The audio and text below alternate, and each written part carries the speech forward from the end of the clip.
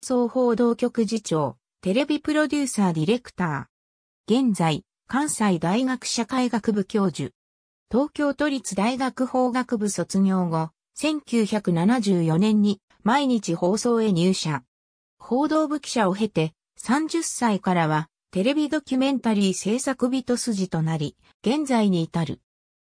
映像90、癌を生きるのディレクターとして、1995年度の日本民間放送連盟最優秀賞、映像01、出所した男のディレクターとして、2002年度の日本民間放送連盟最優秀賞、2001年度の日本ジャーナリスト会議賞、巡礼、世界の聖地のディレクターとして、第9回、坂田記念ジャーナリズム賞、第2部門、映像07で放送された、私は生きる、JR 福知山事故から2年のプロデューサーとして、第3回日本放送文化大賞テレビグランプリをそれぞれ受賞。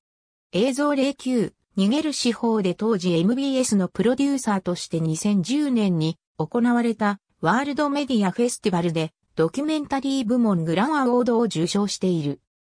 その他には、蘇るマヤや、巡礼、世界の聖地といった開局記念番組のディレクターとして現地へ同行し、制作に携わり、テレビ番組プロデューサーとして2006年10月26日放送の情熱大陸では若年認知症患者、落ち俊二を担当した。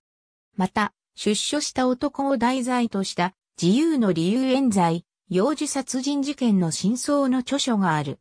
その後、毎日放送を退職し、2010年4月より関西大学社会学部教授を務めている。ありがとうございます。